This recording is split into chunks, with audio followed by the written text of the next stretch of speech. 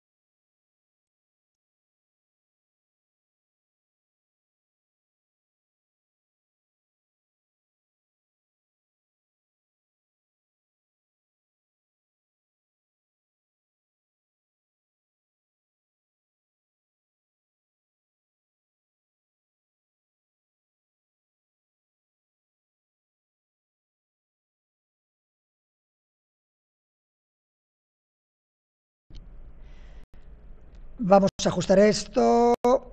Buenas noches, amigos, buenas noches, enemigos, buenas noches a todos. Pues aquí estamos de nuevo, ¿eh? Otras tres sesiones de streaming es lo que tiene superar la fase de grupos y meternos entre las 16 mejores de este mundial. ¿eh? Vamos a poder streamear tres días más y además del alegrón de, pasar de grupo y de clasificarnos, pues también el alegrón de poder conectar con vosotros. Hace ya dos días que no streameo, que no tengo una relación directa con todos vosotros y, bueno, si queréis paso un poco a relatar y a contaros cómo vivimos el, partido, todas las eh, circunstancias que lo rodearon.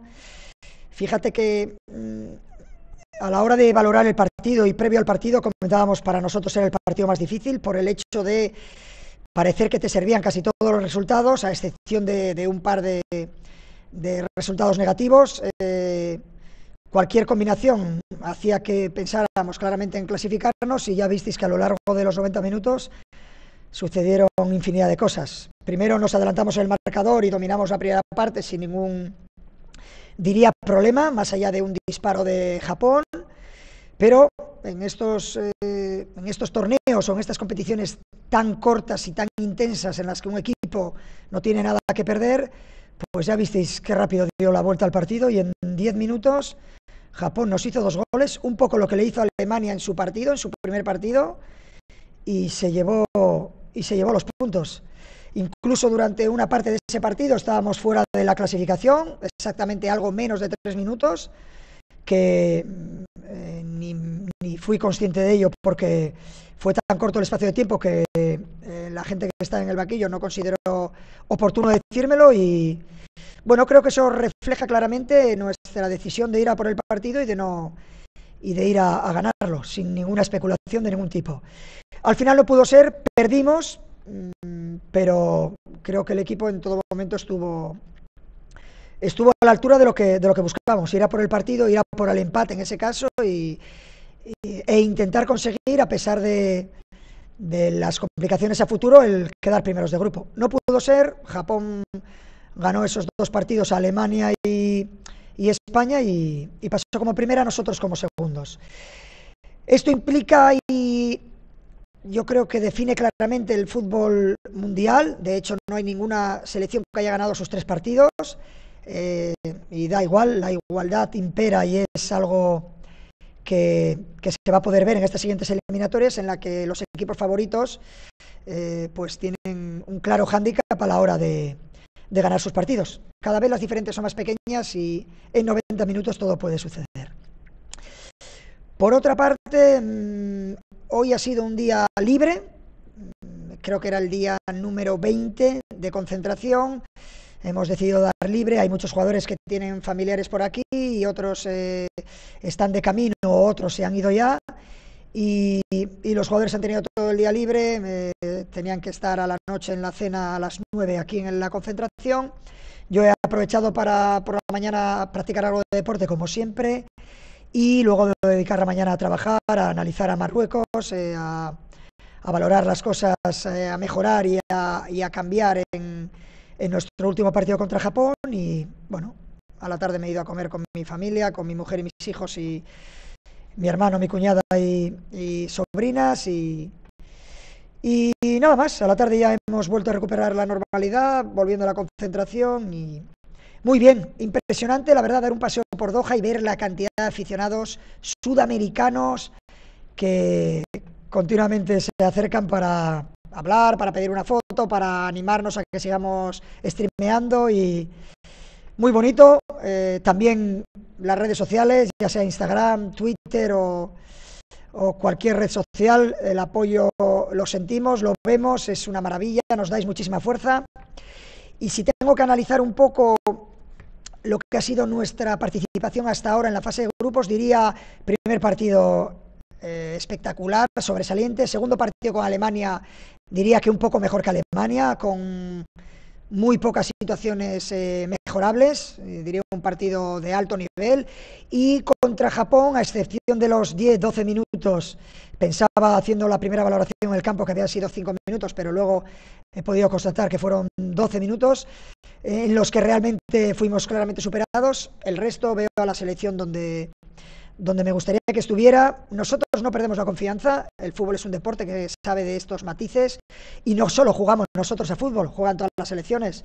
Japón nos superó en esos 12 minutos y le sirvió para ganar el partido, se le felicita y, y aceptamos el reto con muchísima ilusión. Hemos pasado como segundos, jugaremos contra Marruecos, que ha quedado primera por méritos propios, pero nosotros confiamos mucho en nuestro nivel, en cómo hemos competido siempre contra rivales de cualquier eh, categoría y, muy motivados, muy contentos de sentir vuestro cariño y daremos guerra seguro, de eso no hay ninguna duda.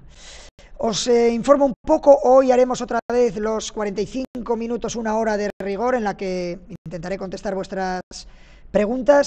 Mañana vendrá eh, Aitor Unzué eh, a, hacer el coloquio, charla o mini entrevista que, en la que hago de moderador y vosotros le preguntáis a Aitor. Ya veréis que es un analista y entendido de fútbol y muy friki en todo lo que significa controlar jugadores de diferentes eh, países y competiciones. Y el pasado mañana haremos eh, también modelo entrevista con Lorenzo del Pozo, que es, eh, además de fisioterapeuta, osteópata, preparador físico de la selección y otro con el que nos lo pasaremos muy bien y que yo creo que os servirá para ver un poco el perfil de la gente que trabaja en el staff y eh, lo, yo creo, interesantes y divertidos que, son. Vale, empiezo con el chat a contestaros eh, preguntas. Siento que se queden en el tintero muchas de ellas porque hay ahora mismo 20.000 personas, 792.000 seguidores, muchas gracias, y 6.400 suscriptores. Gracias eternas. ¿Cómo está la moral, mister? Lo pregunta Fidu11 a tope. A tope, ayer entrenamos, sirvió un poco para analizar la situación, un poco lo que he hecho con vosotros ahora, lo hemos hecho con los jugadores, que ellos dieran su opinión, eh, que ellos también eh, informaran de lo que sienten y, muy optimistas en la misma línea de los anteriores partidos. Creo que la línea de la selección es ascendente y estamos con muchísimas ganas de eh, mejorar y de mm, bueno, hacer méritos para poder pasar a, cuartos. Eh, Noel ha sido preparando ya la tanda de penaltis porque ahora ya estamos en la fase final. Es prácticamente imposible, lo pregunta, perdón, Noel HRS, es prácticamente imposible entrenar en las mismas circunstancias que un partido, una tanda de penaltis, porque el componente emocional de presión no existe en un entrenamiento. Aún así, desde hace, yo diría, más de un año, a todos los jugadores que han venido a la selección les he ido siempre, pues un poco animando a que sus clubes entrenen cada día los penaltis, porque yo creo que en un año, si eres capaz de practicar y tirar mil o mil quinientos penaltis, seguramente será mejor que no haber tirado penaltis más que diez o doce. O sea, un poco como un jugador de básquet que se va a la línea de tiros libres a tirar cada día 100 tiros libres, porque aunque no haya público ni presión, es mejor tener ese hábito. Pues un poco es lo que les he recomendado a los jugadores a lo largo de estos años y eh, es evidente que los partidos pues ante la igualdad reinante llegarán a la prórroga y habrá que superar alguna eliminatoria a los penaltis. Bueno, mm, veremos si luego estamos preparados.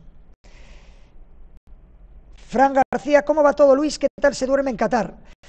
Pues tengo que decir que muy bien, mm, y eso que a una hora como las cinco, cinco y media suele haber una oración que yo no he escuchado nunca, pero muy bien, la verdad es que yo duermo del tirón, no muchas horas, siete, seis, eh, pero del tirón, o sea, no me levanto de la cama para que tenga esa curiosidad y se duerme bien, duermo muy profundo. Mm, antes tenía un anillo que medía un poco la calidad de ese sueño para ver si recuperaba bien y ahora hace tiempo que lo he quitado.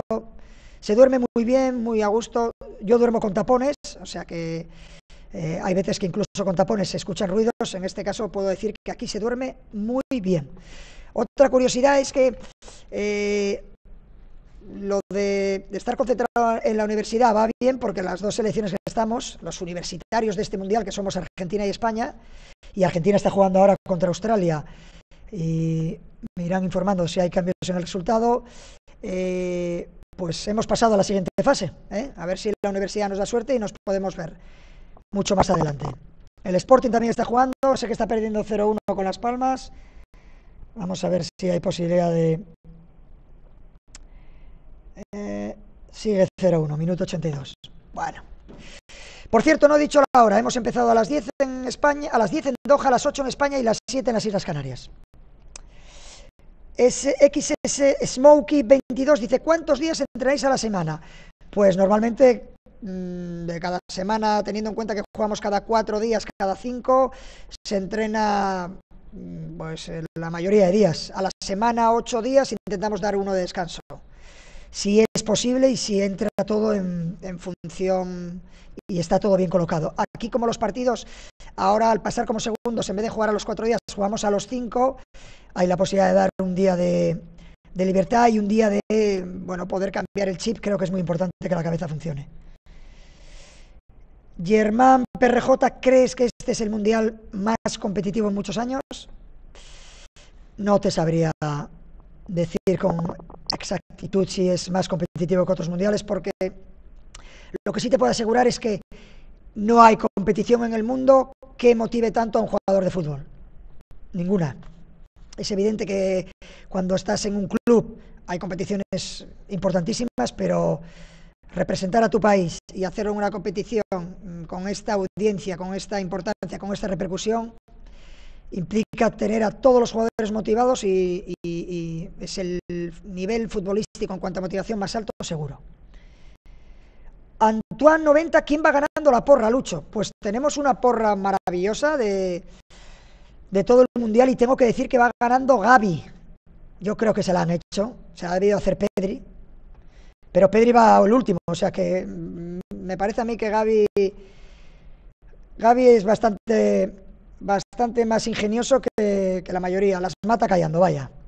Pues va primero Gaby, creo que segundo va Toscana y tercero yo. ¿eh? O sea que cosa que me enorgullece, porque imagínate si fuera el último, pues lo de siempre, ¿no? El mister no tiene ni idea de fútbol, el mister no sabe de nada. En este caso, solo tengo por encima a Toscana, que es la nutricionista, y a, y Gaby. Ya os enseñaré la clasificación. Coco loco soy yo, ¿te parece justo la prórroga que es más de lo mismo? Sería mejor directamente a penaltis. No, hombre, no. Si 90 minutos es cortísimo. 120 me parece bien, y los penaltis también me parece bien. Además, los penaltis siempre se ha dicho, hay mucho tópico en el fútbol, mucho, mucho lema instaurado. Para mí no es lotería. O sea, para mí ganan los penaltis o el que tiene mejor portero o el que tiene lanzadores que tienen en un momento de máxima tensión más capacidad para dominar sus nervios y más calidad para colocar el balón en la red. Ya no es tanta suerte. ¿Mm? O sea que, nada, no, Considero que 120 sin prórroga para mí entonces sería muy corto. La prórroga está bien y yo creo que el fútbol acabará siendo teniendo mínimo un tiempo concreto mínimo de, de juego. Es decir, está muy bien perder tiempo, está muy bien cualquier estrategia para que se juegue poco, pero yo creo que al final el tiempo de descuento debería ir en función de cuántos minutos se tienen que jugar. Eh, no me sale ahora la expresión. ¿Cómo es? A tiempo Tiempo efectivo, eso es. Es decir, si de 45 minutos hay que jugar 30 minutos y 30, 60 en las dos partes, si llegamos al minuto 90 y llevamos solo 55, pues hay que jugar 5 de tiempo efectivo más. ¿Me explico? Y así, aunque sea reloj parado. Más que nada porque si lo que buscamos es espectáculo y que el espectador pueda ver eh, fútbol, eh, mm, evidentemente fútbol defensivo, eh, también es un arte y también una manera de, defender. Y para jugar bien al fútbol hay que atacar bien y defender bien. No tengo ninguna duda de eso. Pero creo que proteger el fútbol de esa manera puede ser interesante. Me gusta que haya mucho tiempo de descuento. ¿Ves a Marruecos muy fuerte? David 60. Hombre, veo a Marruecos pasando como primera de grupo en su grupo, un grupo muy difícil, con Bélgica, Croacia, Canadá. Veo que están en un punto de motivación maravilloso y veo que va a ser un rival complicadísimo. Además, intuyo que va a haber mucha gente de Marruecos, pues porque ya lo hemos podido ver en los anteriores partidos que llenan el estadio. Y a pesar de que habrá también españoles, eh, bueno, pues eh, eso también puede jugar a su favor. Pero va a ser una selección muy complicada con jugadores de nivel y con, en términos de motivación, a, a un nivel altísimo. Nastian 121, felicidades para David Villa, feliz cumpleaños. Ah, cumple el guaje hoy. Ah, no lo sabía. Pues mira, aprovecho para felicitar a mi hijo Pacho, hoy cumple 24 años. Hemos podido ir a celebrarlo hoy en un restaurante peruano, por cierto, muy bueno, que os lo recomiendo, se llama La Mar, en Doha. Eh, muy bien, hemos estado muy bien, muy tranquilos y he podido conversar con muchos aficionados, como os decía antes. Y también cumple un buen amigo, Miki Arpa, hoy cumpleaños de, de Miki Arpa, este tiene algunos años más. Felicidades para el guaje, para Miki Arpa y sobre todo para mi hijo. Prime Gaming pregunta, ¿por qué tan elegante, mister? Tan elegante, un polito blanco. Mira, este es el polo con el que van los jugadores al partido. Tengo estos detallitos, ¿ves? Eh, ya sabéis que es la marca de la selección, el ganso. Son polos que me gustan, muy cómodos. No tengo que plancharlos, ¿ves? Ni una arruga, ni una mancha. Me gustan. Lucho, ¿qué opinas de TikTok? ¿Te sabes algún baile? Cuclu07. Soy arrítmico total. Me gusta bailar, pero, pero no sé bailar. Y además es una cosa que me genera vergüenza ajena. No soy. Bueno, soy bastante más tímido de lo que podáis creer. Pero no, bailar lo dejo para, para otros. TikTok no, me encanta TikTok, me encanta ver vídeos y sobre todo cuando eh, veía a mi hija pequeña ver vídeos, porque antes se llamaba Musicalia y ella lo tenía y luego TikTok y le encantaban. Pero yo no. Y bailes, eh, ya te digo, nada. Ricky López, ¿es mejor jugar en el horario de tarde o el de la noche? Pues yo te diría, a mí, por ponerme un poco quisquilloso, el de las 10 no me gusta porque, ostras, acabamos tan tarde, el día se hace larguísimo, o sea, es una espera, el que espera, desespera. Yo, la hora ideal serían las 8 de la tarde, serían las 6 española, es evidente que la hora de las 10 es mucho mejor en cuanto a audiencias para diferentes eh, mercados y, bueno, jugar a las 10 pues implica otra cosa. Ahora vamos a jugar a las 6, que para mí, yo prefiero jugar antes que, más tarde. O sea, yo ya me levanto por la mañana con el chip para para competir lo antes posible y, y para disfrutar. Ya sabéis que acaba el partido y ya puedes estar haciendo la maleta o preparándote para cuartos. O sea que me gusta esa sensación de jugármelo al todo, al nada, y estas competiciones son quizás las, las que más eh, se ajustan a este, a este paradigma. Celta dice Luis, ¿alguna vez has ido en bici de carretera desde Gijón hasta los lagos? Sí, claro que sí. Por supuesto, hay unos 100 kilómetros, sí que he ido, he ido en bici, no de carretera, mira, he ido en bici en BTT, he ido desde Gijón por lo que es el camino eh, de, de, Santiago, camino de Santiago. Garrapiello, exactamente, aquí está Joaquín, que también lo ha hecho, porque él lo ha hecho hasta andando incluso. Yo lo he hecho en bici de BTT, son unos 90 kilómetros, lo he hecho con mis amigos, con mi hermano Felipe, con Nodar, con Lolín, eh, Hemos hecho 90 kilómetros hasta los lagos de Covadonga, por ese camino que os digo, y vuelta, ida y vuelta.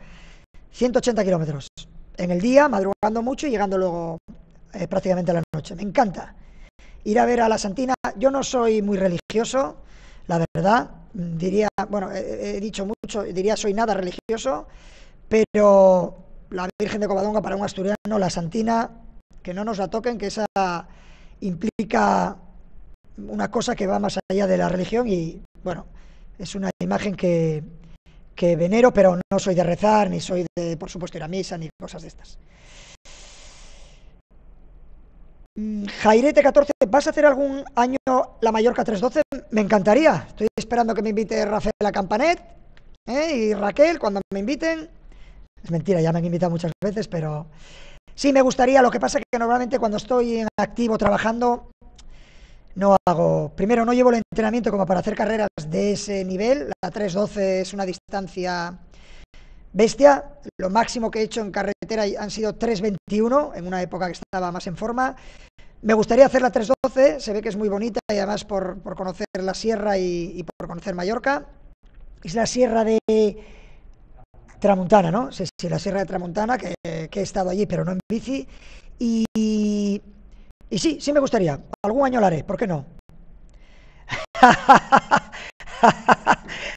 JLA 2893, a Gaby le ha hecho la porra al rey. Oye, pues si se la ha hecho el rey, se ve que sabe de fútbol, ¿eh? porque va líder el tío destacado y lleva ya como tres días. Mm. Como se la lleve Gaby. Nexus Star, ¿qué hacéis los días que no entrenáis? Eh, nosotros, el staff, trabajar. Trabajar a todas horas. Tenemos siempre, pues dedicamos una parte de la mañana, a primera hora, a hacer deporte. El que quiere hacer gimnasio, algún día salgo en bici, algún día eh, bueno, algunos del staff salen a correr, luego trabajamos, cada dos, tres horas de trabajo intenso, pues eh, solemos también ir a dar un paseo eh, por el campo, hacer nuestras chifladuras de earthing y, y tomar un poco el solecito, mm, en términos de salud, volvemos a trabajar, comida, hoy he ido a comer fuera para celebrar el cumpleaños de mi hijo, y luego a la vuelta me he vuelto, a ver el partido, hemos visto el partido y hemos seguido trabajando. La verdad es que nosotros somos de estar mucho en el despacho, nos gusta mucho, somos de, de pencar bastante, de darle muchas vueltas a diferentes situaciones y nos gusta, compensa, lo que pasa es que tenemos que hacer breaks para frenar y para luego poder ser otra vez efectivos. Un buen pulpo me pregunta, ¿has visitado los Estados Unidos? la primera vez fue en el año 94 en el Mundial y me encantó. Y luego he ido muchas veces a Nueva York, he corrido incluso la maratón de Nueva York, he estado en Los Ángeles, he estado en, California, he estado en muchos sitios. Sí, me gusta, es un país eh, que me gusta. Auber 4, la lucha, ¿algún favorito para Damal, la Copa del Mundo de Ciclocross? Mira, lo sigo mucho y ya sabéis, los amantes del ciclismo, GCN Plus, la aplicación GCN Plus, me encanta. Además está en inglés y me apasiona. Eh, veo las carreras de ciclocross de hombres, de mujeres, las vuelvo a ver, las repito ahora mismo. Pitcock sé que entró en la, en la anterior, el anterior fin de semana, que ganó, y ahora sé que era la, Copa del Mundo de Ciclocross, pero o sea, la Copa del Mundo de Ciclocross, pero creo que está eh, Matthew Van Der Poel y Pitcock, pero creo que no está Wout Van Aert, ¿no? Ojalá estuviera también, sería, sería la repera. Pero bueno, sí, sí que lo seguiré. Además, mm, es un poco, a mí me gusta hacer la siesta porque como no duermo demasiadas horas, las duermo bien, pero no demasiadas, me gusta hacer la siesta y entonces eh, antes de dormir siempre veo el ciclismo, con lo cual una carrera de ciclocross la puedo ver en que dura una hora, puedo estar tres días. Me gusta. Lucho, ¿le diste el visto bueno a la tarta de Pacho? Tenía pinta de tener mucho azúcar. Forest 10. Pues no. Sí que tenía azúcar y del bueno chocolate, buenísima.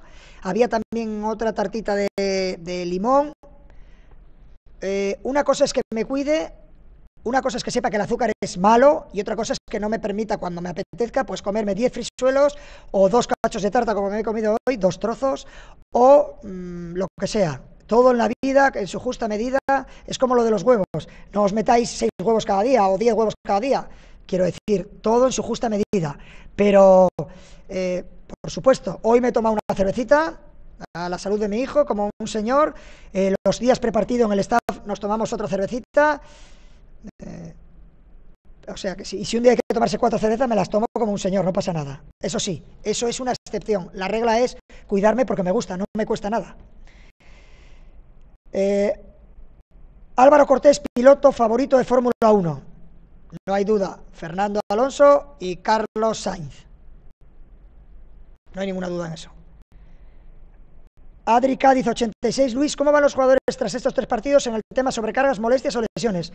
A excepción de, de César Azpilicueta, que lo cambiamos en el descanso porque tenía un golpe en el gemelo y un golpe en el gemelo se lo dieron en el minuto 5 o 10 y vas aguantando, empiezas a correr de otra manera, se te carga el sóleo, empiezas a sobrecargar partes de la pierna que no nos interesa, lo cambiamos para evitar riesgos, eh, pero me consta que está muy bien y, seguramente se reincorporará al grupo, si no mañana pasado, cuando lo estimen oportuno los doctores. Pero están todos, todos bien, ¿no, Rafael?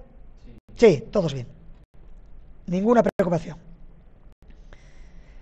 Dani Lucho, ¿qué música escuchabas de chaval en Gijón? Un saludo, eres mi papaito. Muchas gracias, hombre. Pues en Gijón de chavalete, sin ser demasiado amante o un, un fan de la música, ya os dije, el último de la fila, Manolo García era, en aquella época era el último de la fila, los burros anteriormente, me encantaba, siempre me encantó también Víctor Manuel. Luego en una época un poco mayor ya me gustó Nuberu, ¿eh? asturiano ahí a tope. Y, en general, bueno, música bastante normal. Bueno, bastante normal para mí. Archivo tímido, ¿te gusta más la vida en una ciudad o en un pueblo? Saludos desde Barcelona. Sin ninguna duda me gusta la vida en la montaña, apartado del ruido y conectado con la naturaleza. Yo que he nacido en playa, en una ciudad de mar como Gijón, y me encanta el mar, ahora mismo tengo que decir que si me dices entre mar y montaña, prefiero montaña. Prefiero la paz y la naturaleza y e incluso poder ver algún animal salvaje o, bueno, relativamente salvaje. Eh, montaña escogería. Pero bueno, en Asturias tenemos de todo, o sea que... Y todo cerca, no hay problema. Unai Galvez, ¿sabes que mañana es la maratón de Valencia? No. ¿La has corrido? No. ¿Eres mi ídolo? Gracias. Eh, no la he corrido, pero sé que es una de las más rápidas de España, con la de Sevilla y la de San Sebastián. Aunque la de San Sebastián, la climatología a veces juega malas pasadas. La de Sevilla es rapidísima, la de Valencia también. Hubo una época que la tuve en mente, pero cuando ya empecé a hacer Ironman y ya bajé de tres horas, la dejé de lado. Ahora mismo tengo que decirte que no creo que podría correr un maratón por mi rodilla.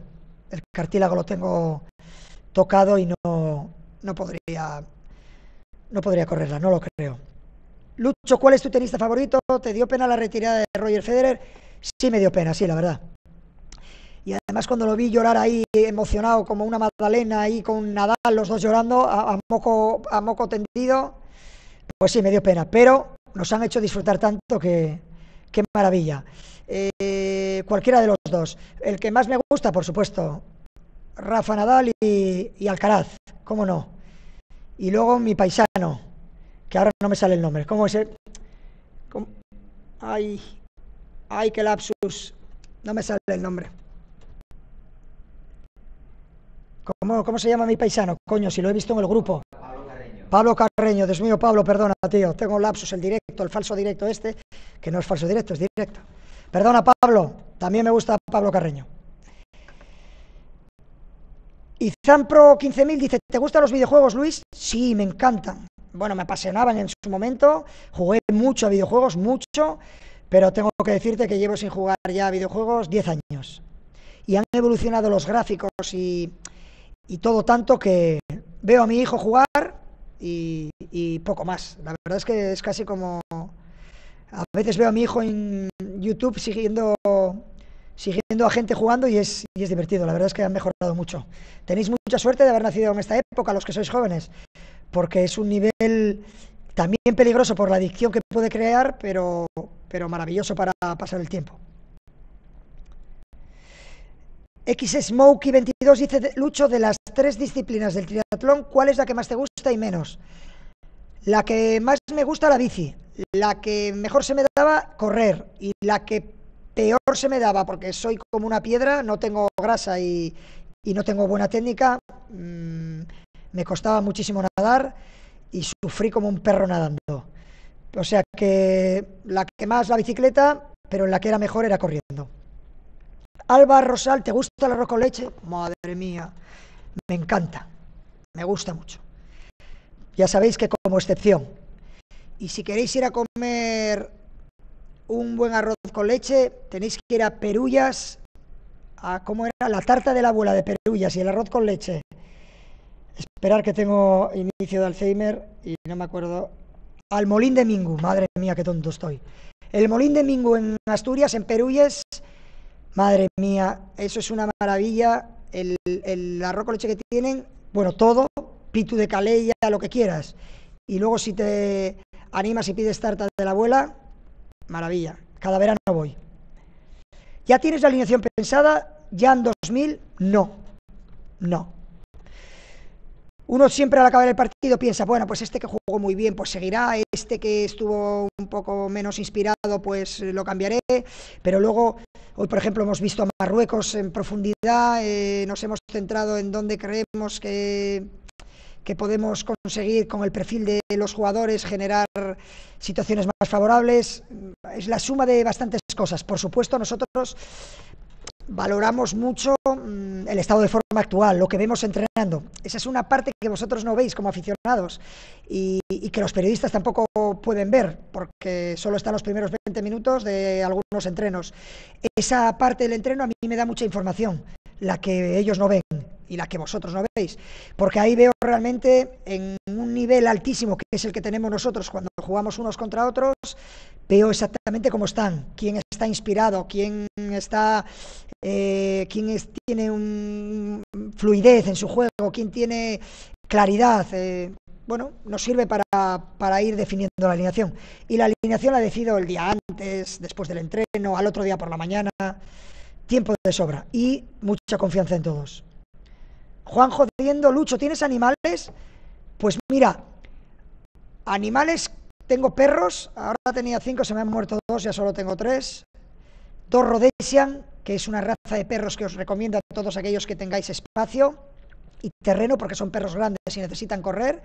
Rhodesian Ridgeback Dog, que es una raza sudafricana. Eran conocidos en su época porque eran cazadores de leones, más que cazar, los, los acorralaban a los leones y venía el cazador y lo mataba, o los mataba, mejor dicho.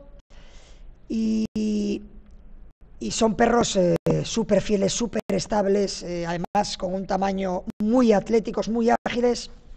Paseo mucho con ellos por la montaña y, ahora quiero tener eh, gallinas,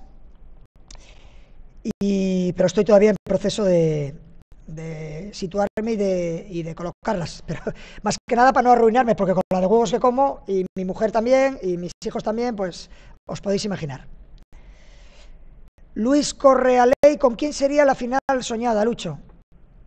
La final soñada con que esté España, el resto a una final, en una final ya no hay ni capacidad ni posibilidad de elegir rival. Si los dos equipos que llegan a la final es porque se lo han merecido, se lo han ganado y eh, cuento simplemente con que lleguemos nosotros, esa sería la mejor noticia. Anfegar 73, hola Lucho, ¿cómo es de duro para un jugador de fútbol colgar las botas? Hombre, es un proceso delicado. La edad pasa para todos, es un punto en el que has de ser suficientemente clarividente para darte cuenta de que ya no de que ya no funciona y es difícil, hay mucha gente cuesta ver esa situación. Yo me retiré con 34 años en el Barça y claramente la cabeza jugó un papel determinante y a pesar de que tuve posibilidades de poder eh, jugar en, otros, eh, en otras categorías y en otros países, eh, bueno, creo que acerté plenamente porque no hubiera estado al 100% de cabeza y sería un poco alargar una cosa que no tiene mucho sentido. Pero entiendo que cada uno tiene una motivación y valoro y admiro mucho los jugadores que siguen jugando, siguen teniendo esa ilusión, su cabeza les funciona y les tiene motivados para, para jugar. En mi caso, creo que acerté plenamente. Miambel, Luis, ¿cuál es el trofeo que más te gusta por diseño y el que menos? Te referirás también a los clubes y demás. Hombre, la Copa del Mundo es una copa tan bonita y tan única que es que el diseño me parece fuera de cualquier duda.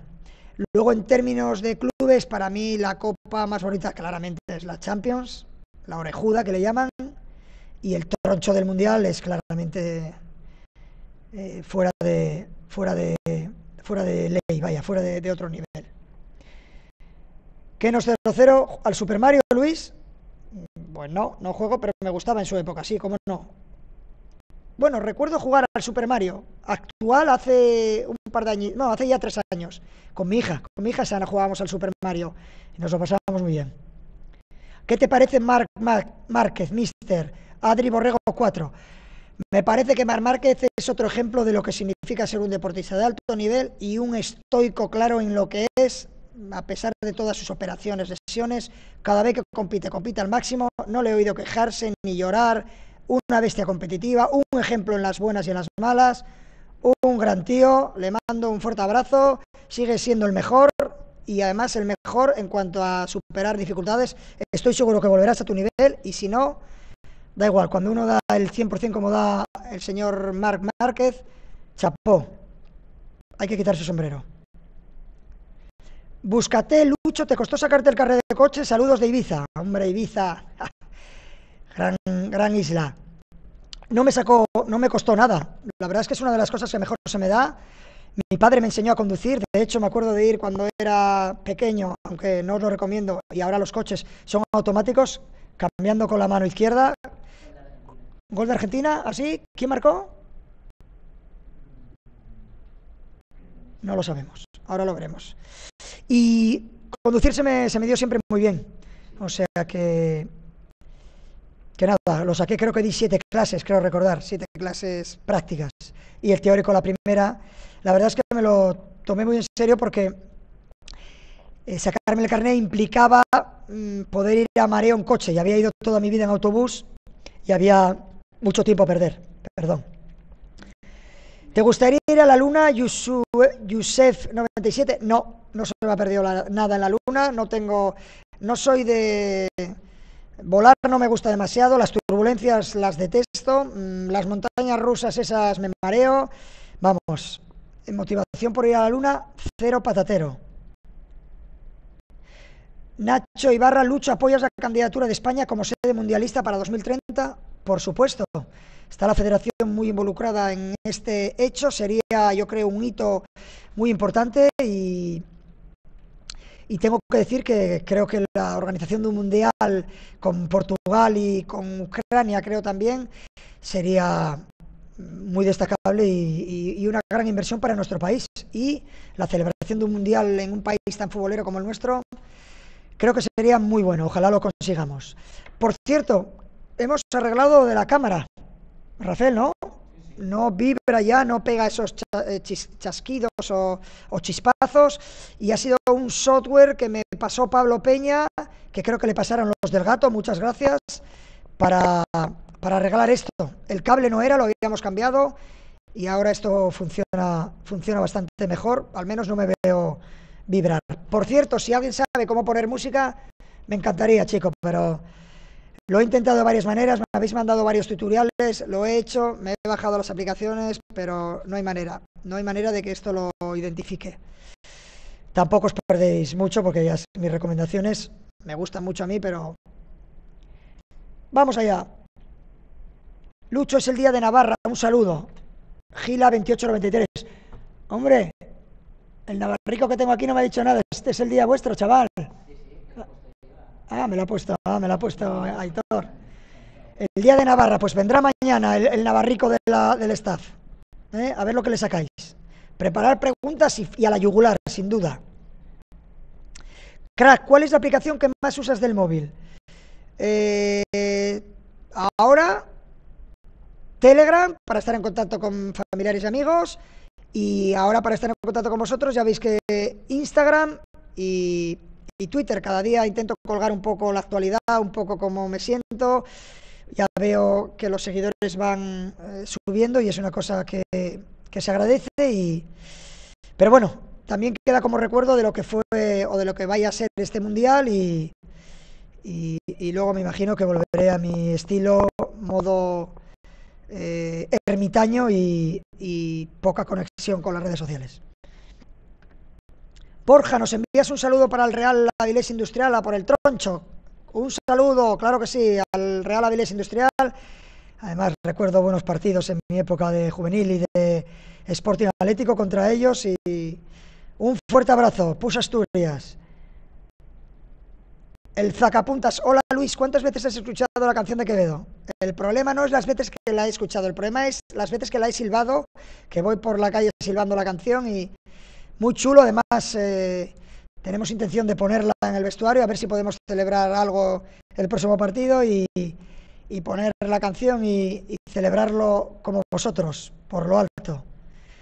Cirx, ¿tienes alguna fobia? Mm. Eh, a ver si os pensáis que la gente por ser famosa y por salir en la tele no tiene fobias o inseguridades o miedos o, timidez. Eh, la gente que sale en la televisión, yo soy igual que vosotros, pero igual mejor y peor en muchas cosas, pero Eh, a lo largo de, mi vida he tenido miedos y, ¿Qué son miedos? Pues muchas veces son distorsiones de la realidad. Y es curioso que los miedos de otros te parecen tan ridículos que hasta te ríes. Y en cambio, tus propios miedos a los demás les parecen, pero tío, pero ¿cómo, pero cómo te preocupas por esto? Eh, yo tengo un consejo que siempre da Joaquín Valdés cuando uno empieza a ver que un miedo se convierte en algo más potente y es cuando tengas esa situación que te preocupa, ríete de ti mismo, o sea, tómatelo con cachondeo, ríete, o sea, haz como si fuera una inundación y, es imposible tener ansiedad cuando uno se está riendo. Pues ríete al máximo, si es sobre ti o de ti, ríete y evidentemente un profesional te va a ayudar mucho más que yo, pero bueno, a mí me sirve. Ahora mismo, fobias, eh, la verdad es que tengo alguna fobia, Tengo muy mal perder, eso sí, ¿eh? pero da igual que sea una partida de parchís o lo que sea. Pero evidentemente es una cosa que intento corregir y, creo que en la vida pierdes mucho más que ganas. Eh, hay, que, hay que intentar eh, controlar y un input en el fútbol. Tengo, creo, más mal perder en la vida personal que en el fútbol como, como profesional. O sea, si me gana mi mujer al parchís, ese primer minuto me cuesta. Nanu SVM, la pulga o el pelusa. La pulga y el pelusa. O sea, ¿por qué alguien, y me imagino, ¿por qué los argentinos tienen que escoger, o un aficionado al fútbol como yo, entre la pulga y el pelusa? La pulga es Dios y el pelusa fue Dios. Dios a nivel futbolístico. Qué suerte que hayan sido argentinos, si sois argentinos, lástima que no hubieran sido españoles.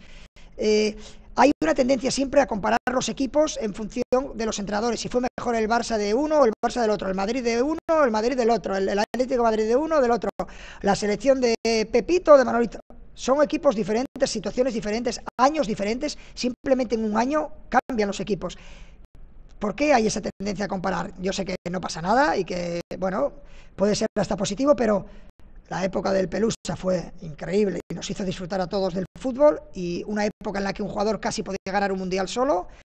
En esta época actual eso es más difícil y la pulga o Leo Messi, como le llamáis, es el número uno de la historia del fútbol sin ninguna duda. Esa es mi opinión. Mm. Miguel Ángel, ¿quién es el más disciplinado de la plantilla? Saludos, mister. Madre mía. Todos los que están a este nivel han tenido la disciplina como una de, sus cualidades. Es muy raro ver a alguien mm, que no sea disciplinado. Y puede ser despistado, puede ser eh, un perfil un poco más eh, extraño, pero no sé, disciplinados. Todos, y ahora todos van al gimnasio, todos se cuidan, todos tienen nutricionista, psicólogo siendo tan jóvenes, hay en muchos casos se asusta la madurez que tienen. Eh, pero no sé, te pongo un ejemplo. Eh, César Pilicueta, Coque, eh, Ferran, es un pesado que no veas. ¿Quién más? ¿Quién más está todo el día? Marcos Llorente, madre mía. Mucho pesado, mucho pesado. Yo también era un pesado de jugador, la verdad. ¿Te gusta la canción de Víctor Manuel en la planta 14, Lolitos, Sueca 21? Me encanta, la he escuchado mil veces. No la canto ahora porque solo llueve ocho días al año en Qatar y si me pongo a cantar seguramente eh, habría nueve. Pero me encanta, además tiene un componente emocional muy bonito y, un saludo para la minería. ¿eh? Yo que tuve la suerte de visitar la mina cuando era jugador del Sporting, Madre mía, eso sí que es un trabajo en su momento, madre mía, un trabajo de, de un nivel de, riesgo único y de un respeto por todos aquellos que, que han sido, que son mineros. ¿Has comido una buena chuleta en Donosti? A Tocho Zarauz, por supuesto, y además en Zarauz. Y en el restaurante de Arguiñano. Y corrí la... la mm, la Beovia, coño. Corrí la Beovia un año. Y corrí la media de San Sebastián también. Sí, sí, me encanta. Me encanta el País Vasco, me encanta. De hecho, yo siempre le digo a, a los amigos y tal que si no hubiera sido asturiano y qué suerte he tenido, me hubiera gustado ser vasco. Y aunque solo sea por hablar euskera y saberlo de, de, cuna, y por los deportes vascos, y por la cultura vasca, y por, y por la manera que tienen vascos y asturianos, siempre nos hemos llevado muy bien. Eh, esa es mi opinión del País Vasco. ¿Qué es más difícil, una pelea con un canguro o con un oso? Hombre, Andrés Calero 98. Eh, me imagino que hablas de un oso tamaño XL y de, y de un canguro. Canguros yo he visto en, directo y, hombre, yo creo que tendría más opciones contra un canguro. ¿eh? Y todo el que he visto algún canguro por ahí que te mete una galleta y flipas. Un oso creo que... ¿Cómo se llama la película, Juaco? Eh, la, del, la, del superviviente, ¿se llama superviviente? La que le ataca el oso a... El Renacido. Si no habéis visto El Renacido, soy horrible para las películas, para los actores, para... En términos de memoria tengo que mejorar. El Renacido. Eh, si no lo habéis visto, que lo habéis visto casi todos, el ataque del oso para mí está muy logrado que el ataque y... Vamos, con un oso tienes muy pocas opciones. Con un canguro igual, igual alguna galleta se llevaría. Pero vamos, nos gana seguro un canguro, un oso. Vosotros fijaros, Rafael cuando hablamos de la genética del ser humano, que pensamos que somos la repera, en lo que somos la repera es en, desarrollar ingenio y en nuestro cerebro. En eso sí que, el desarrollo de nuestro cerebro. En lo que es físicamente, tú fíjate que Usain Bolt es más lento que una oveja. Usain Bolt, el mejor Usain Bolt. Una oveja, o sea, una oveja normal, no la oveja más rápida del mundo. Corre más rápido que Usain Bolt. Esa, esa comparación ¿Eh? Cuando nos lo dijo Rafael, digo, coño, pues sí que estamos limitaditos físicamente. Eso sí, nosotros hemos hecho un desarrollo en términos de evolución muy diferente y claramente eh, somos capaces de, bueno, de hecho, la teoría de la evolución, claramente. Bueno, ¿de dónde sacaste la idea del andamio y los entrenamientos? Saludos desde Mallorca, Chuster84. ¿Dónde empecé el, andamio? El primero fue en Vigo, ¿no? Sí, en Vigo teníamos la montaña en Amadroa y, me subí a la montaña un día para, para ver eh, el, entrenamiento desde donde grabábamos y entonces cuando empecé a ver entrenamientos de ahí digo, hombre, hombre, desde aquí puedo ver a los del lado contrario, qué bien.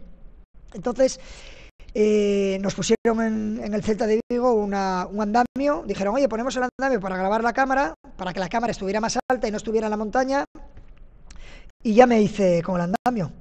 Aquí ya veis que tenemos dos. Mira, mañana vamos a hacer un entrenamiento en el que vamos a trabajar tácticamente alguna situación del juego y desde allí eh, y sin gritar, gracias al, a los walkies, puedo, puedo ver el entrenamiento. Muy bien, la verdad es que es una muy buena herramienta que recomiendo a cualquier entrenador, cualquier entrenador que quiera controlar eh, la ocupación de espacios. Si tienes otro tipo de juego o tampoco te importa mucho por dónde se mueven los jugadores o tienen libertad para moverse, pues tampoco tiene mucho sentido. Pero en términos de control de ocupación de espacios, eh, os lo recomiendo. 1-0 al descanso. Bueno, hago los últimos 15 minutos. ¿Quién ha marcado? Leo Messi. Vamos allá. Buenas, Luis. Eh, que si no 21, ¿crees que Marruecos saldrá en bloque medio alto? Me dan miedo las transiciones, son rápidos e intensos. Abrazos. Hasta ahora lo que han repetido más es bloque medio y de ahí pueden presionar, como muy bien dices, y, pasar a bloque alto. El resultado también condiciona la actitud de los equipos. Pudisteis ver a Japón en un bloque medio durante toda la primera parte y eh, intentar ir en esas transiciones y ir a presión alta. Yo creo que Marruecos va a alternar las dos, bloque medio, bloque alto. Estoy totalmente de acuerdo contigo que es un equipo muy peligroso en transiciones, es decir, sus jugadores de banda y el punta, Nesiri, Ziyech y demás jugadores que tienen capacidad y calidad para poder atacar espacios y son muy peligrosos en lo que es eh, estrategia. Eh, faltas, corners, de hecho han hecho goles así, tienen lanzadores a pierna cambiada muy buenos va a ser un partido de, tener que controlar muy bien todo el tema posicional para, evitar esas transiciones. Pero mm, yo creo que espero y deseo que podamos estar a la altura. Mixe 2022, Mister, ¿qué opinas de Luis Aragonés? Para mí son los dos mejores seleccionadores que hemos tenido. Yo pienso que hizo más para España que Pep Barça en términos de estilo de juego y unidad. ¿Qué piensas? Bueno, no comparéis entrenadores. Es muy difícil, cada uno en su estilo. Yo como jugador recuerdo que cuando iba a acabar mi carrera y por lo que había oído otros compañeros, eh, me hicieron un día una entrevista y dije, hombre, me hubiera gustado que me hubiera entrenado Luis Aragonés. Todo y que yo tuve muy buenos entrenadores, Luis Aragonés era yo creo que iba un punto más allá en lo que significa implicarse, pasional, mm, mucha idea futbolística de lo que quería, capacidad para jugar de diferentes maneras. Con la selección fue un juego más posicional, más de control del juego y selección de jugadores para ese estilo.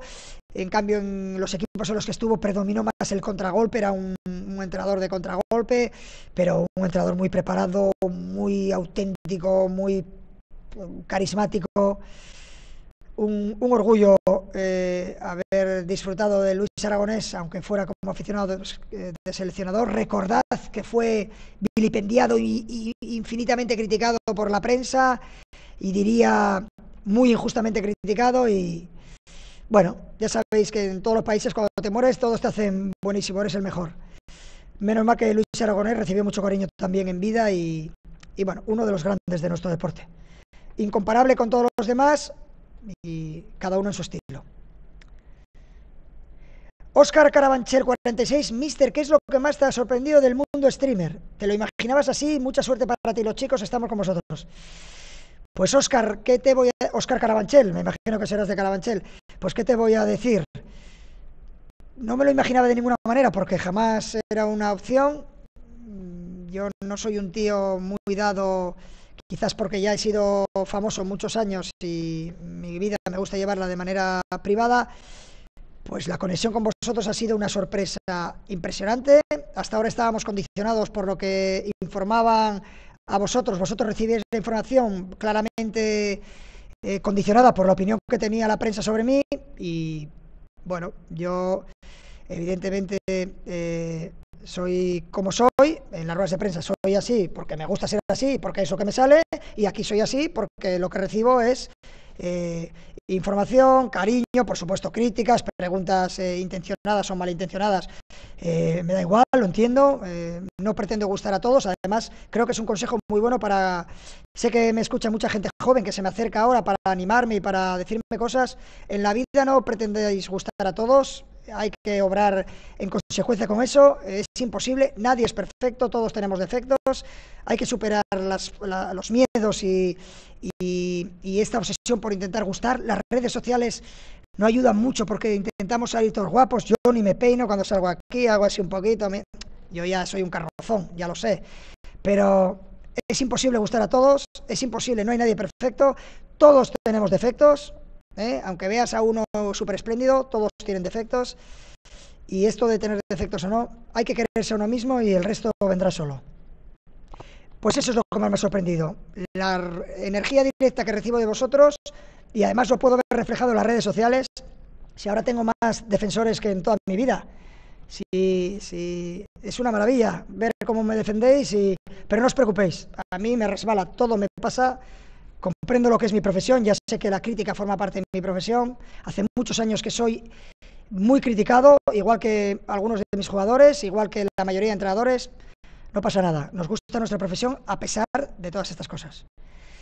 Inesota 23, una pregunta con los walkies, ¿escuchan lo que dices todos los que llevan el walkie o solamente el jugador al que te diriges? Un saludo, Lucho.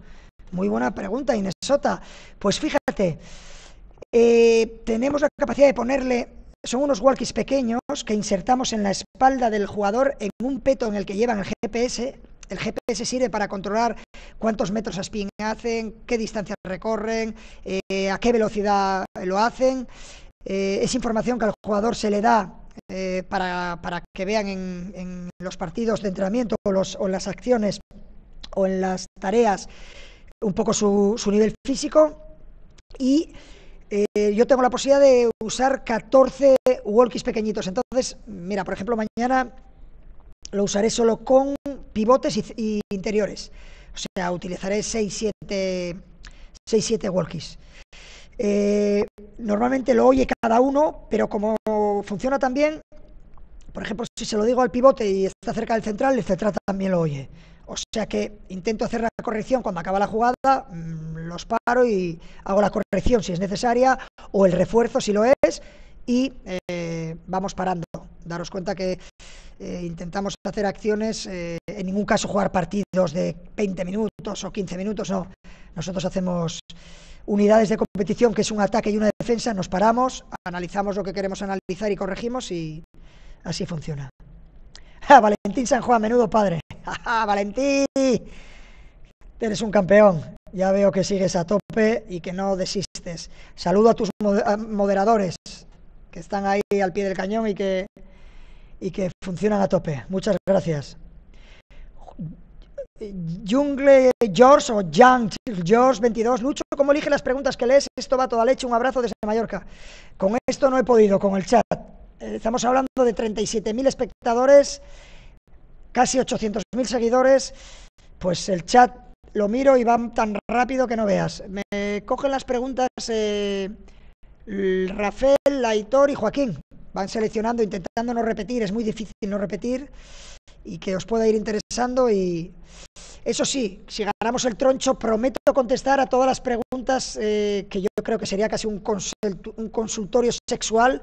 Todas las preguntas XX que, tenemos guardadas. Tiene Rafael y Aitor, se han ido pasando los Vladimir y todo eso, pero versión agresiva. Pero hay que esperar a, a que venga el troncho aquí para contestar esas preguntas. Venga, vamos a por las dos, tres últimas. Va, antes de raidear. Ja, ja, ja, ja, ja, ja, ja, ja, ja, ja. Me encanta que os riáis y que os lo paséis bien. A ver, a ver, a ver, a ver.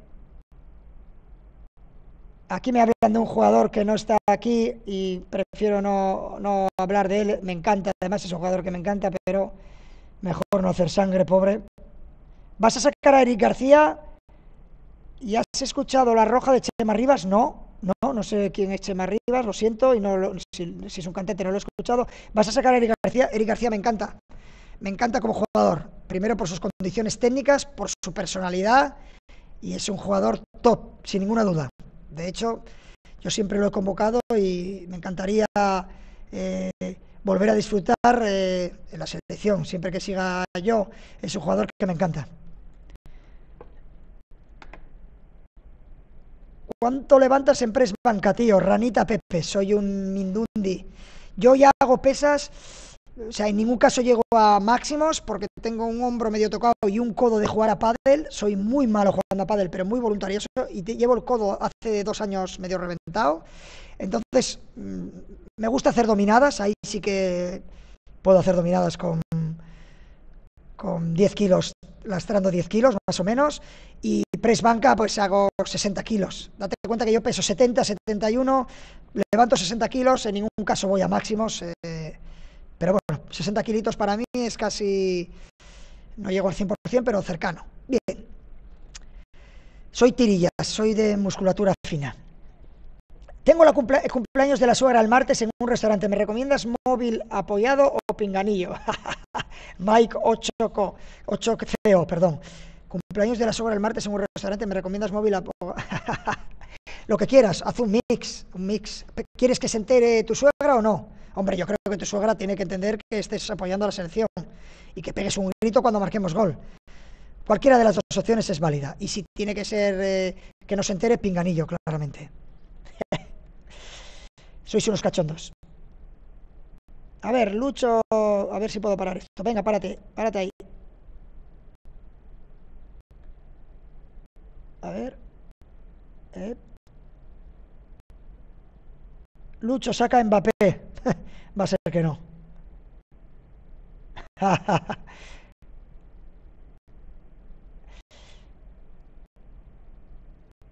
Hola Lucho, después de haber visto los partidos de fase de grupos, ¿crees que hemos tenido suerte en el, en el cuadro? Marruecos no es mal equipo y viene fuerte. H4GO. Eh, esto en el fútbol de este nivel es tan, tan difícil de hacer. Nosotros empezamos el grupo, el último partido, siendo primeros y durante fases del partido fuimos segundos y en tres minutos del partido eh, terceros, eliminados. Eh, quién sabe cuál es la fase del grupo. Por ejemplo, Brasil. Todos queríamos evitar a Brasil y todos dicen que hay que evitar a Brasil. Y si Suiza llega a marcar ayer un gol, un gol más, ganándole a Serbia, hubiera pasado como primera y Brasil como segunda. ¿Quién garantiza que Brasil va a ganar eh, su partido? ¿Quién lo garantiza? Nadie. Sí, sí. De hecho, ninguna de la selección ha ganado sus tres partidos. Vale, jugaron los suplentes, lo que me, lo que me quieras contar. Cuando llegue el partido, sorpresas va a haber y, quién sabe cuál es el lado del cuadro mm, difícil o, fácil. Lo importante es lo de siempre. A tu partido, centrarte en tu partido y controlar eso.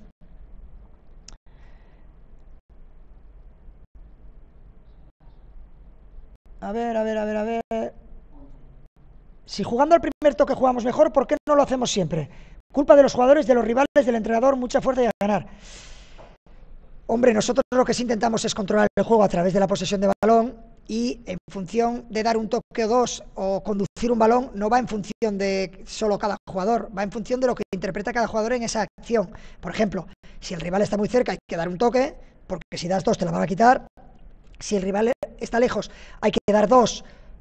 Bueno, eh, lejos quiero decir relativamente lejos, hay que dar uno, dos, tres toques, los que consideres, para fijar y generar superioridad, y si está muy lejos, hay que conducir, conducir para encontrar eh, y fijar a un jugador de la siguiente línea. O sea, no es todo tan fácil. No es que tú le dices al jugador, por ejemplo, una pregunta muy graciosa, que, que no tiene ningún sentido, para mí, es cuando te dicen, ¿les has avisado en el descanso que, que ahora van a presionar el rival? ¿Y, y, qué crees? ¿Que porque avises al jugador y al equipo eh, ya no se va a cometer ese error? De hecho, yo he tenido situaciones de jugador en la que el entrenador insistió durante muchas semanas y trabajamos cada día jugadas a balón parado y encajábamos cada partido. Cada partido, pero tres, cuatro partidos encajando gol en contra. Con el Barça, me acuerdo. Dejó de trabajaros el entrenador porque ya veíamos que estábamos en colapso, dejamos de encajar goles. O sea que no tiene todo tanta facilidad. El fútbol, pensad que es un deporte muy complejo, es apasionante porque un equipo que no defienda nunca puede ganar. O sea, yo puedo meterme contra Marruecos los 11 dentro de nuestro área, en el minuto 90 hacer una transición, tener un córner y marcar gol, no haber chutado ni una vez y ganar el partido. Esa es la grandeza del fútbol. Eso no pasa en el básquet, no pasa en el handball, Tú tienes, para ganar en el básquet y en el handball, tienes que atacar bien y defender bien. En el fútbol no. En el fútbol tú defendiendo solo puedes ganar un partido, puedes ganar un mundial. De hecho, recuerdo que ¿qué competición fue la que ganó Grecia? Un europeo. Marcando no sé cuántos goles, muy pocos. Defendiendo muchísimo y atacando solo en jugadas a balón parado y alguna transición. Me explico, el fútbol es un deporte muy complejo. Primero, por las dimensiones del campo. Segundo, el número de jugadores a controlar. Dificilísimo. Y tercero, hay un componente, por ejemplo, ah, ¿cómo os descontrolasteis los 12, los 12 minutos contra Japón? ¿A qué pasa? ¿Los japoneses no juegan? Que solo juega España, ¿no? O sea, cuando perdemos es que los demás, es que tenemos que ganar siempre y jugar siempre bien. Señores, no funciona así. No funciona así. El fútbol es un deporte que hay dos equipos. Si tú consigues ser mejor y generas más ocasiones de gol, en teoría deberías tener más posibilidades de ganar. Pero un rival teniendo una ocasión te puede ganar. Sí, bienvenidos al fútbol y más al fútbol de selecciones y más al fútbol de mundiales europeos, que son competiciones muy cortas.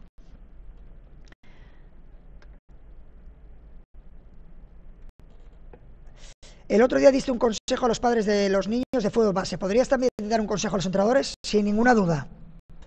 Primero y principal, todos dicen lo mismo, y lo oigo en categorías inferiores infinidad de veces. No, lo importante es formar al niño y tal. Y ves el de la Levín del Barça que quiere ganar 25-0 y eh, ganar todos los títulos porque quiere, evidentemente es importante su evolución de entrenador. Error. Cojan entrenadores que solo quieran formar. Y formar significa que los niños tienen que jugar en esas edades, para mí, en diferentes posiciones no especializar a un niño, porque un niño tiene que saber que para jugar de lateral tiene que ver la dificultad que tiene cuando juega de medio y cuando juega delantero, y que prueben hasta de portero todas las posiciones, y sobre todo que jueguen todos. Yo en mi época en el Sporting de niño eh, tuve dos años, casi tres, que no jugué casi nada, porque era muy delgadito, no tenía fuerza. En vez de formarme, yo me formé porque estaba entrenando allí al mejor nivel y porque tenía mucha ilusión. Pero estuve dos, tres años y el Pito Abelardo igual. No jugaba nada. Bueno, el Pitu jugaba más porque tenía más fuerza. Yo nada. Tres años de mi carrera. Y me, me echaron, me echaron del Sporting. Y me fui a un equipo que se llama Club Deportivo Labraña en Gijón, donde fui hiper feliz. El nivel era más bajo, evidentemente, y ahí jugué muchísimo. Señores, si su hijo no juega en la cantera del Barça, del Madrid, del Atlético Madrid, del Sporting, del Oviedo, del que sea, o del Avilés, que nos están viendo, fuera, bájelo a otra categoría, que juegue. Su hijo tiene que jugar, probar diferentes posiciones. Y los entrenadores de categorías inferiores, si tenéis intención de subir y queréis haceros entrenadores, no empecéis con niños, porque vosotros buscáis el resultado y los niños no necesitan ese agobio y esa presión. Sea que mi consejo, si quieres eh, formarte y quieres formar a niños, perfecto. Fórmalos, eh, exígelos, mejora su técnica, que es la única condición, no les hables de táctica, de preparación física, eso no vale para nada en esas edades. Hablo en edad hasta los 13, 14 años, que jueguen en diferentes posiciones, cámbialos, que pasen por el banquillo y, y que se queden sin convocar todos, que jueguen todos y ya está, porque estás formando, no, no, no, no, no tienes que ganar títulos. Esa es la teoría. Luego los, escuchas y todos te dicen esto. Luego los veo campeones todas las categorías. No, he ganado con el alevín, con el infantil, con el cadete. Señores, iros entonces a profesionales. Ya sé, no os fichan en profesionales. Los entrenadores de formación deberían formar y olvidarse de resultados y dar minutos a todos los jugadores. Y si eres padre y tu hijo no juega y no juega de manera repetida, a otro equipo. No se llamará eh, el mejor, se llamará de otra manera. No pasa nada, si lo que quiere tu hijo es jugar. ¿Qué colonia usas, Lucho? Serromar 6. Pues es que no me sé el nombre. Es una, una muy suave, me gustan colonias frescas. Rollo nenuco, pero, pero con un poco de aroma así a limón, no me acuerdo la marca. Lucho, duermes como sin calcetines. sin calcetines, aquí hay veintipico grados. He apagado el aire desde que llegué a la habitación, desde que llegué a Doha, sin calcetines. Y en bolas, si lo quieres saber, duermo en bolas. ¿Qué gustos de helado te gustan? FedEx rojo. Pues mira, eh, chocolate por supuesto, vainilla también me gusta, dulce de leche, helado de huevo, que todavía no lo he pillado, pero también. La verdad es que cuando peco, peco de verdad, y además disfrutándolo, y luego me sienta tan mal que digo, pero qué tonto eres, coño. Pero bueno, hay que pecar, pecar de vez en cuando va bien. De hecho, hay una frase muy buena que me gusta de Marcos Vázquez que dice, tienes el mismo problema si no eres capaz de, de gestionar el haberte tomado, el haber pecado, el haber tomado algo de azúcar, como el que no es capaz de comer sano. ¿Me explico? Comer sano, ¿qué implica? Comer cosas que te sienten bien y que tú veas que, que te aportan cosas buenas para tu organismo. O sea que son dos problemas parecidos. Venga, señores, última, que me voy a raidear y quiero ver la segunda parte de Argentina. Un saludo desde Cantabria, saludos. A ver, a ver, a ver, que se pare esto, va, párate.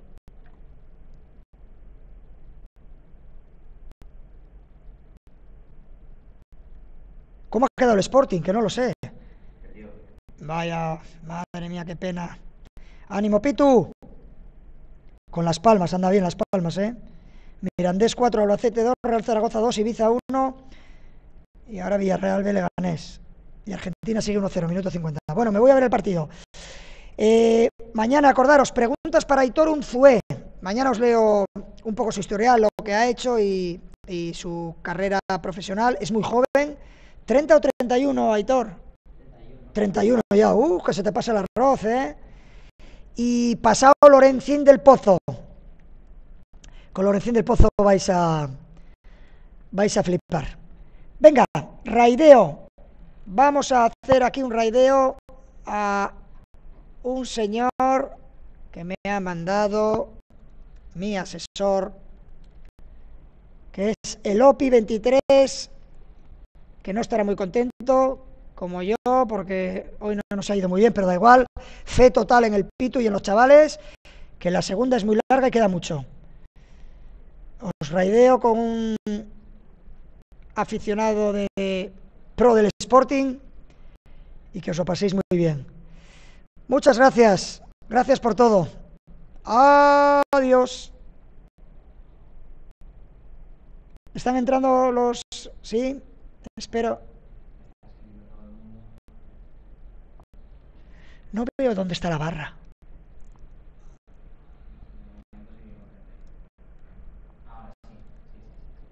Le empiezan.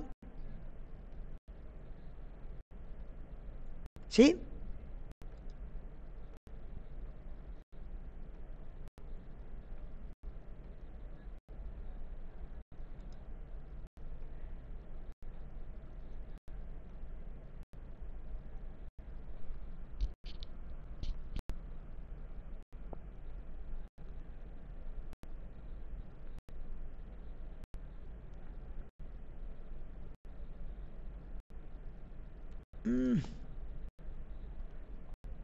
¿Le entraron, Rafael? ¿Solo?